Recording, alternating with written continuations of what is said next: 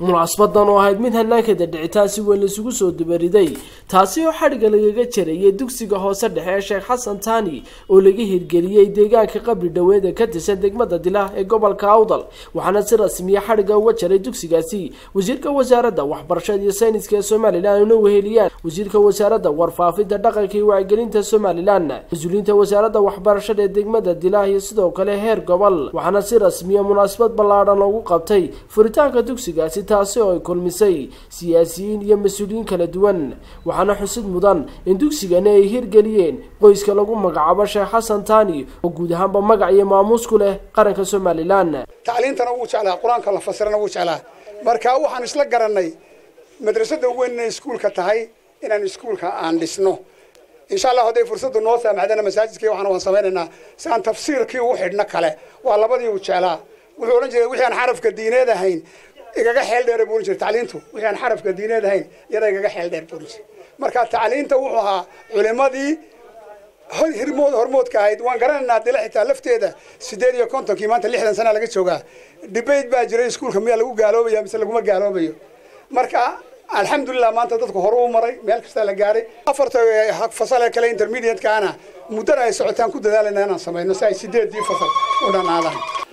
Taariikh bay noo tahay maanta in waxqabashayntaa leeg walaalahayo noo qabtaan oo aanu maanta ku naaloonayno waxay noo tahay xusuus badan bay noo tahay waanaanu ducaynaynaa waxay hayaan dad iyo dunyaba in allau barakeeyo.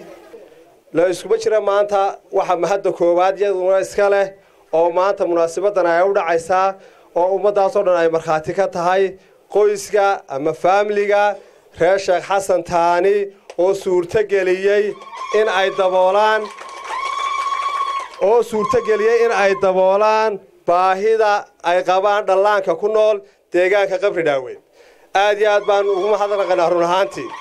Haddii ilaahay ilnamadiisa xasan iyo barkiisa xasanka iyo dumarba inoo soo diro iskuulkii inoo dhiseen iyagana wax mahad gooni aanu naqanay.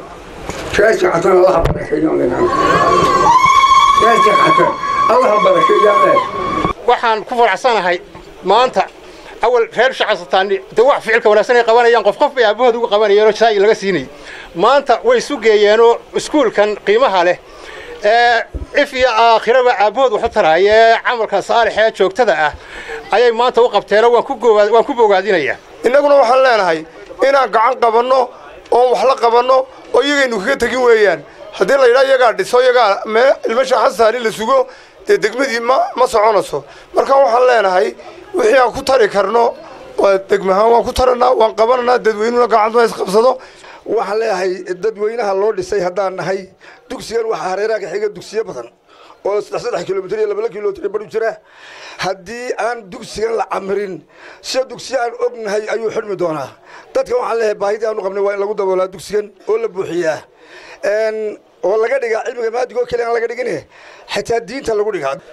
Saddexdii sane ugu dambeeyey waxbarashada scholarshipka ardaydii ugu horreeyey degmada dilay ka soo baxeen. Muxuu ahaa barnaamijkii shaqo qaran ardaydii ugu badneed reer dilay ahaayeen waan ka marakacayaa inay waxbarashada boqolkiiba boqol ku fiican yihiin. Deegaanku wuu u baahan yahay sida sheegay waa carruurtu meelo badan oo aanay ka gaari karin baa jiray ama dadweynaha ahaada ama dila ha ahaato. Laakiin waxaa loo baahan yahay arrinka anan xooga saaraya waxa weeyaan in mas'uuliyad ay iska saaraan odayada deegaanku sidii iskuulka u noqon lahaa mid taya leh oo waxbarashada si fiican maaragtay ay u keeni lahayn ubadka si ay wax u bartaan. Midna waa taa mahadnaqaya faamiliga haddii alle ku rooya reesha xasan taani oon aad iyo aad maaragtay haddii alle ku rooya ugu mahadnaqano uguna ducaynayno in ilaahay uu barakeeyo bisaadka xasanaadkana ugu daro. Waxay reer xasan taani caan ku yihiin waxbarashada iyo halganka. Sidaasi daraaddeed waxaa runtii sharaf weyn ah in ay muujiyeen oo ay maanta hirgeliyeen dardaarankii aabbahood sidii uu maxamed inoo sheegay ee ahayd in waxbarasho dugsi iyo mid diineed labadaba la hirgeliyo. Tiina maanta waynu arkaynaa. Halkan taa maanta waxaa ka suurageliyey reer sheekh xasan taani. Waxaan rajaynayaa oo aan jecelahay in ay ilaashataan dugsigan aad ka qayb gashaan horumarkiisa aad ilaalisaan tayadiisa.